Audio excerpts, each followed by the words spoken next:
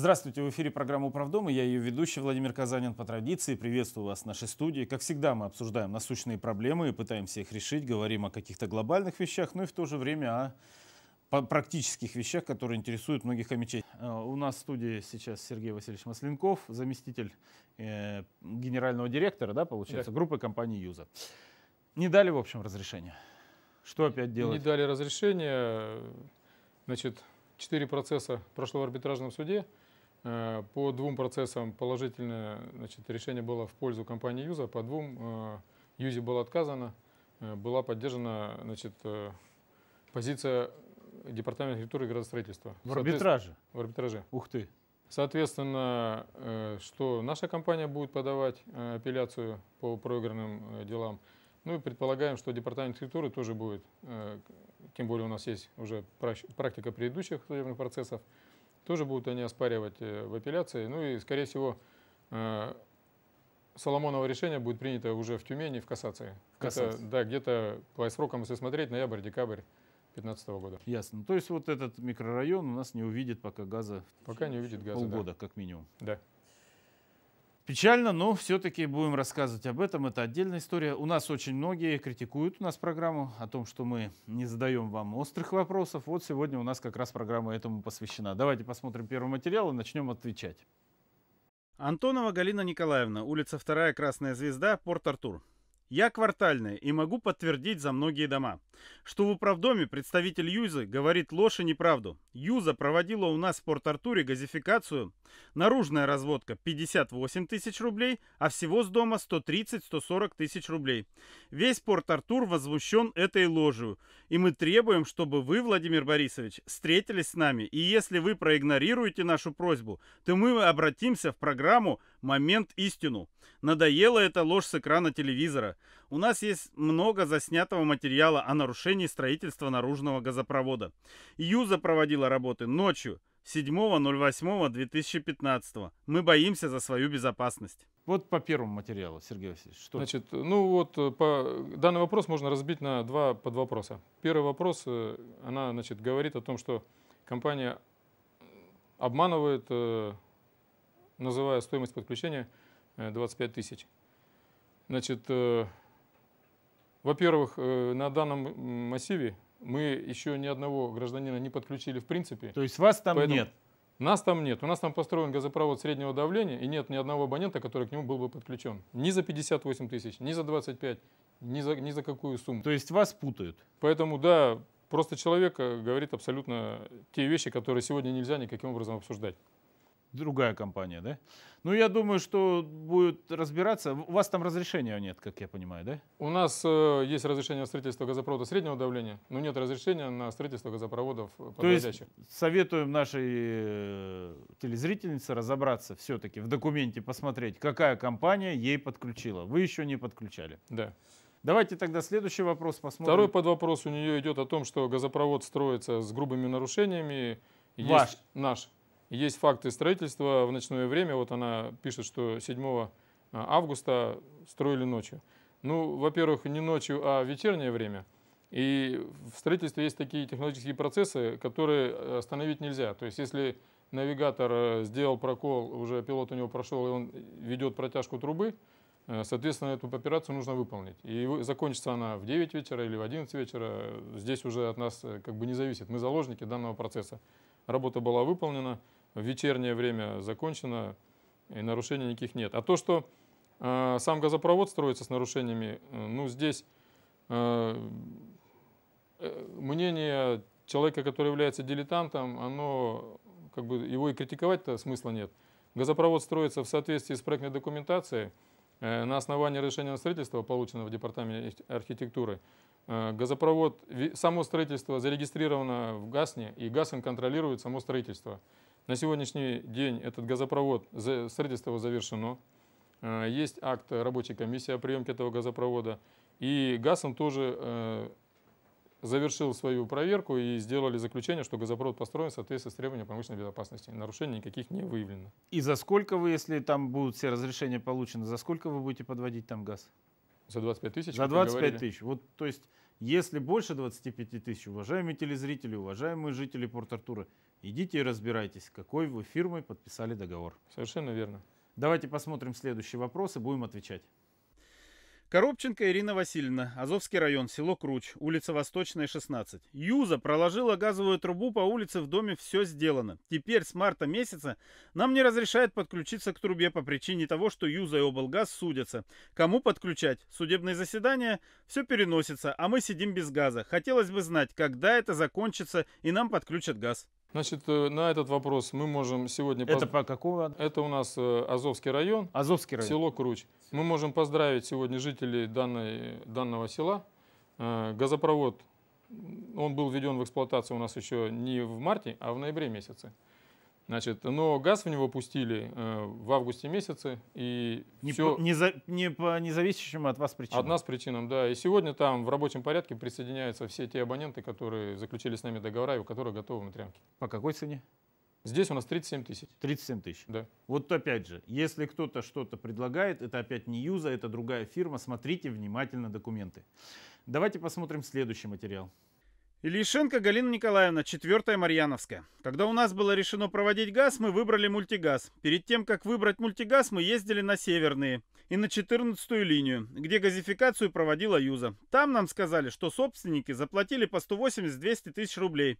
И мы заплатили мультигазу по 130 тысяч рублей. Зачем это вранье с экрана телевизора? По 25 тысяч рублей. Юза строит с большими нарушениями, и документы у них не все есть. Значит, э, Галина Николаевна утверждает, что они перед тем, как э, принять решение заключить договора с мультигазом, э, ездили на микрорайон Северный, на линии, и якобы у кого-то там значит, нашли финансовые документы, подтверждающие, что стоимость подключения к газопроводу компании Юза производилась по 180-200 тысяч рублей.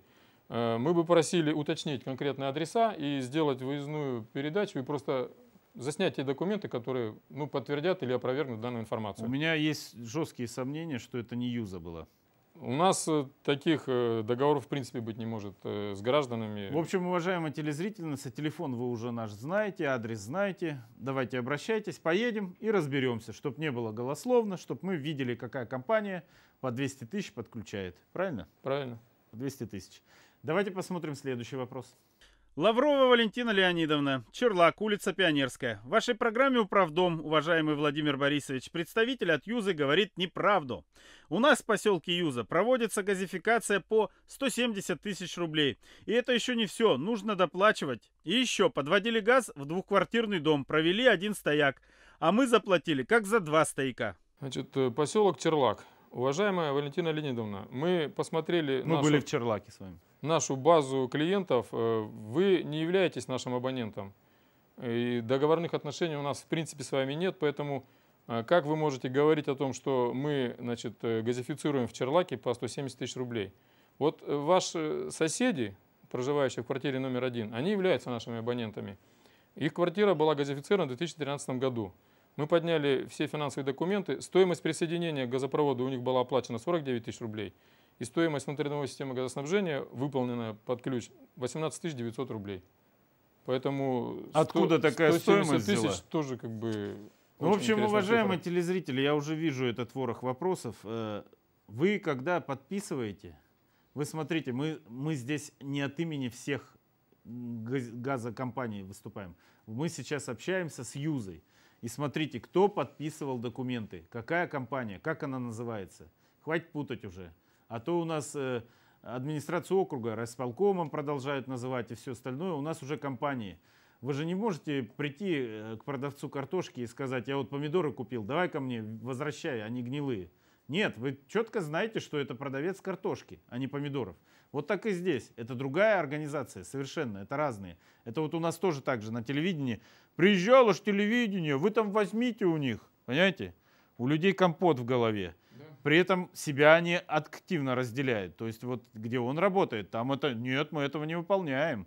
Это другая организация. А то, что они могут спутать 12 канал с каким-то еще там незначительным каналом и говорят, идите у них спросите, там они к нам приезжали. То есть вот этот компот, кишмиш надо заканчивать. Надо четко записывать, кто, откуда и когда. И адреса, и названия. Тогда можно добиться чего-то чего-то и от власти, и от компании. Давайте посмотрим следующий вопрос, но я думаю, что он перекликается с предыдущими.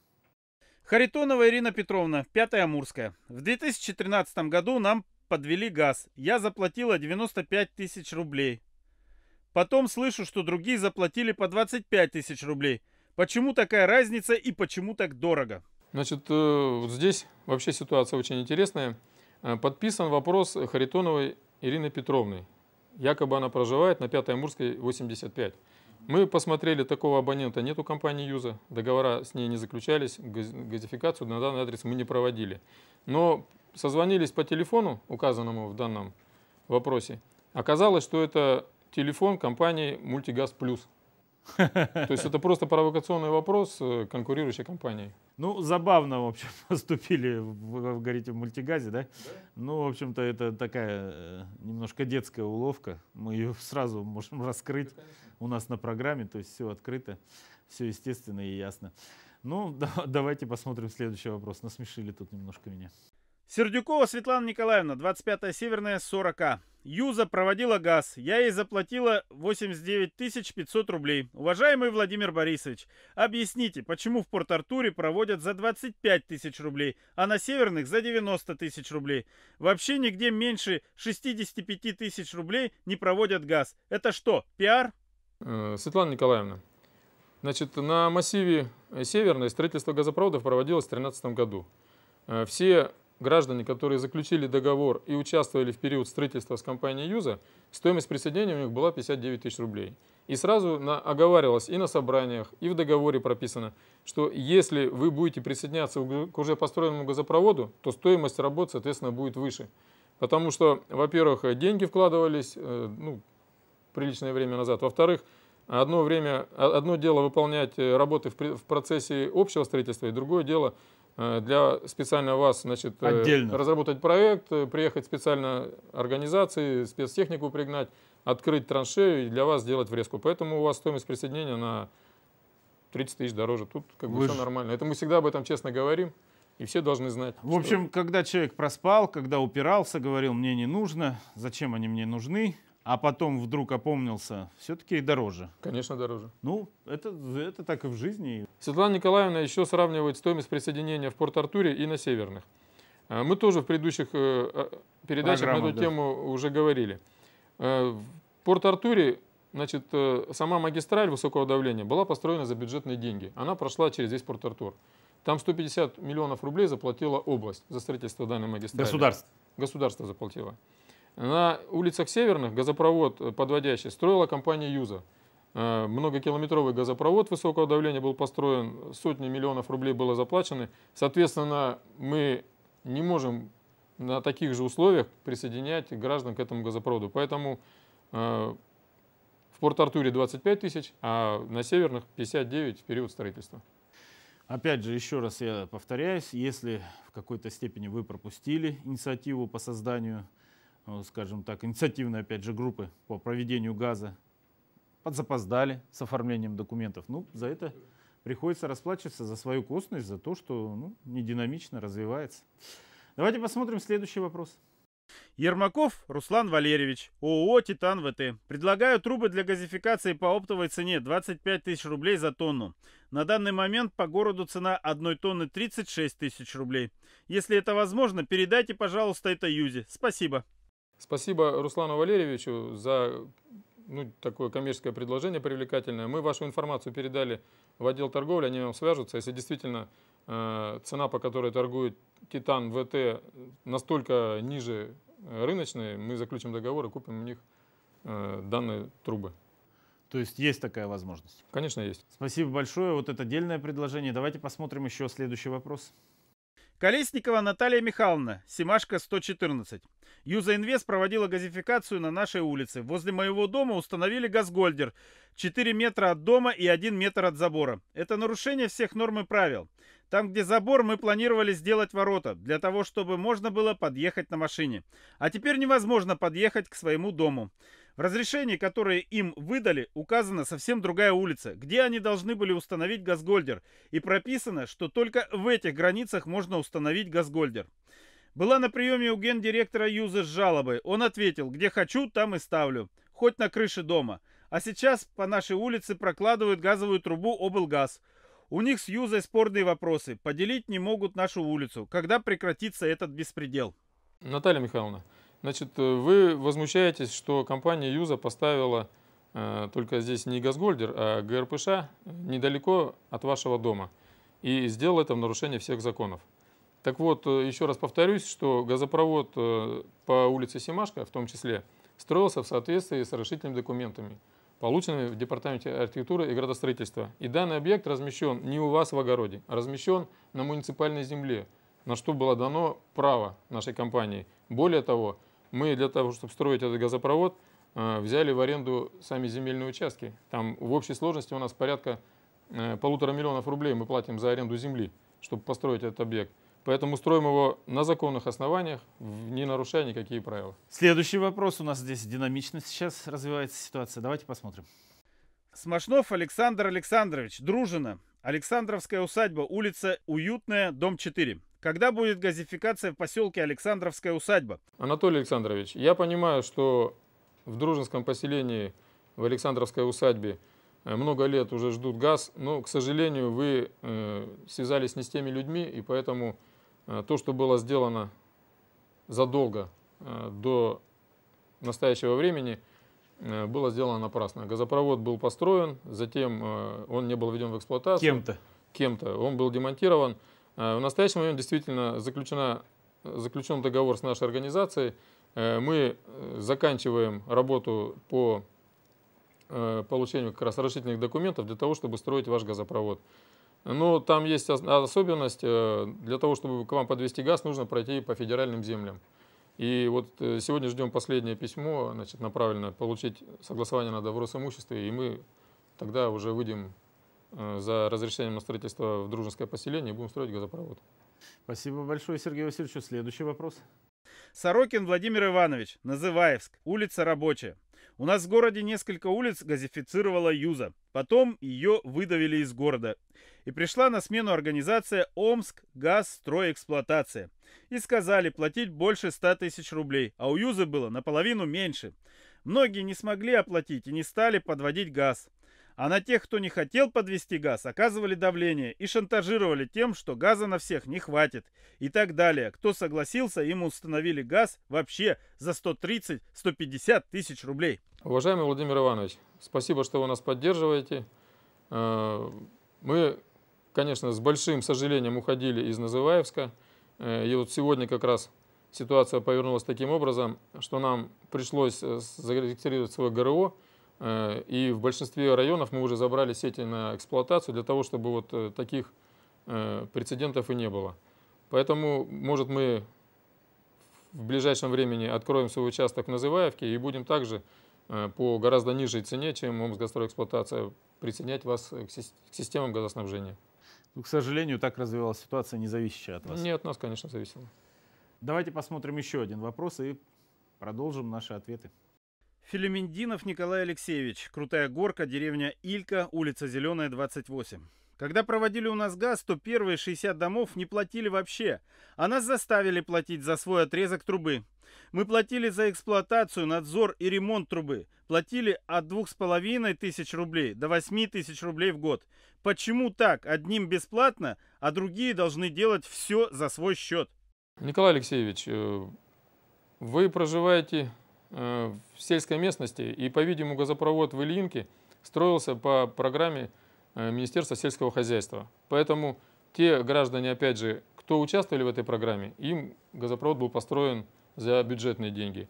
А если вы в то время не смогли по какой-то причине принять свое участие, то Или теперь присоединяйтесь, соответственно, за ту сумму, которую вам определяет ГРО. Вот 60 э, тысяч э, вам они выставляют, ну, наверное, это справедливо. Вас там нет? Нас там нет, это не наш объект. Вы просто консультируете, да, рассказываете. Да. Давайте посмотрим следующий вопрос. Томичев Михаил Васильевич, 19 Амурская, 36, дробь 10. Наш дом на два хозяина, адрес один. Юза подвела газовые трубы, и мы оба хозяина должны заплатить 60 тысяч рублей. Почему? У нас один стояк, только котлы разные. Значит, э, вопрос задают кстати, его часто задают на собраниях, почему э, к многоквартирному дому, двух, трех, четырехквартирному дому э, ставится один надземный вывод, а берется за присоединение с каждого собственника квартиры. Ну, во-первых, э, основная стоимость в данной услуге – это не вот этот надземный вывод, элемент, который составляет там какую-то тысячную от стоимости всем, всей газотранспортной системы. И заключая договор на присоединение, человек, в принципе-то, получает право на транспортировку по всей магистрали того объема газа, который необходим для Э, газификацию домовладения, как на отопление, так на горячее водоснабжение и на пищеприготовление. И если она на данном массиве для всех разработана, вот в Амурском поселке там 60 тысяч рублей, неважно, двухквартирный дом, трехквартирный дом, каждый будет платить по 60 тысяч рублей за присоединение к магистрали. Опять же, это Хотя от вас не зависит. Это от нас не зависит. Ну и у нас э, еще один, самый последний вопрос. Мы сегодня такая у нас блиц, блиц, блиц-марафон. Так получился. Давайте еще один вопрос последний и ответ на него от Сергея Васильевича. Виталий Александрович, 13 июня 2015 года. Добрый день. Поселках Новотроицкий и Новоомский начались подготовительные действия к будущему газоснабжению этих поселений. Проведены сходы жителей поселений, будущей компании по строительству системы газоснабжения, собраны копии документов и так далее. Мы смотрим ваши передачи о положении дел с обманутыми людьми в Амурском поселке и сильно переживаем о том, чтобы у нас таких проблем не возникало. Нам понравился показанный в вашей передаче опыт газоснабжения поселка Черлак. Я лично присутствовал на собрании в поселке Новоомске и после этого был в компании Юза. Вопросов больше, чем ответов. Не могли бы вы, Владимир Борисович, приехать нам в поселение и сделать репортаж о будущем газоснабжении только лишь по одной причине. Дело в том, что о этих грандиозных планах властей Омского района на их официальном сайте ни слова, ни полслова ничего не сообщается. Это в наше время пиара, где любой маломальский пустяк раздувается до вселенских масштабах. Уверен, там есть о чем поговорить и с людьми, и с муниципальными чиновниками. Ну вот э, Виталий Александрович задает вопрос. Ну, я так понимаю, он маленько ошибся в названиях э, поселков э, Омского района. Он задает вопрос о Новотроицком и Новоомском поселках. Но они находятся в разных частях Омского района. Я так подозреваю, что здесь не Новотроицкий, а Троицкий и Новоомский соседние поселения. Здесь ситуация таким образом развивается. Да, действительно, многократно приходили к вам те или иные представители разных организаций, предлагали вам газифицировать э, ваше поселение. Э, с жителей Новоомского я знаю, что собирались деньги даже на проект, которые были э, ну, каким-то образом не реализованы, деньги были потеряны. Но вот что происходило в 2015 году, мы можем прокомментировать. Мы встречались с руководством Омского района, встречались с руководством Троицкого сельского поселения. И как раз давали свое предложение э, встретиться с населением.